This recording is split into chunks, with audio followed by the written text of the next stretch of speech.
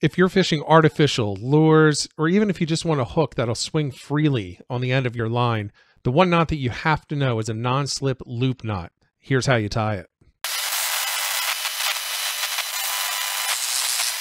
Now to tie this knot, the first thing that you want to do is you can put down your, your jig or your lure. You want to take the, the line for your leader and just tie a regular overhand knot like this. Now don't tie it all the way and pull it all the way tight so that it, it's actually a knot, but you want to get it started. And you end up with a loop that looks like this, right? So this loop is important and you want to get this to about the size that you want it to be above your lure when you're done tying. Now, so I have it about this size. That's going to be good for this demonstration. Then what you do is you just take the tag end and you just put it through the eye of the lure. Can let it kind of hang there.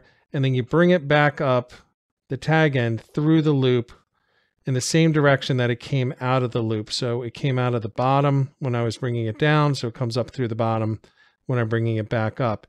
And what you end up with as you pull the tag end further and further up is something that looks like this, right? So you have your overhand loop and then you have the loop going through the eyelet and back up top.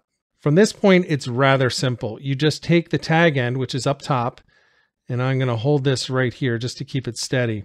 You just take the tag end up here and you just loop it around a couple of times around the main line. Just two times is fine and then bring it back through, underneath and through. Just grab the end of the tag line and just pull the tag line and the main line just to start seating this knot. You can see it starting to come together there, right? So it looks like it's come together. You can see that it has the knot underneath. Now it's still not totally tight. So then grab the hook or the lure, the jig, and pull it tight. Just pull the main line and there you go. So in some variations, you can have this so that the tag end faces down. Sometimes it comes out to the side like this one. This one's fine. And again, you can make this a smaller loop. I did this bigger for demonstration purposes, but once you have this really tight, just go through, cut the tag end, and there's your knot.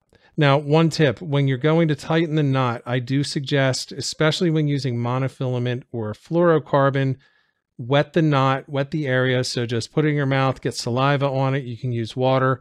That keeps it from burning the mono as the heat of the knot when it's tightening gets into the mono. So it makes it slide a lot easier.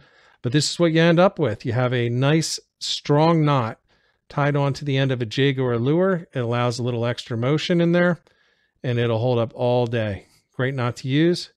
That's a loop knot. The loop knot is quick, simple, and strong. Now, there are other knots that you should know. So if you want to go through more of those knots, popping up on the screen are some links to some other videos, and I'll see you in the next one.